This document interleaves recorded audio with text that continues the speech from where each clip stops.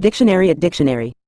Comic refers to a form of entertainment or storytelling characterized by the use of images, illustrations, and text to convey humorous, dramatic, or engaging narratives. It encompasses various genres, such as humor, adventure, fantasy, and drama, often presented in a sequential visual format.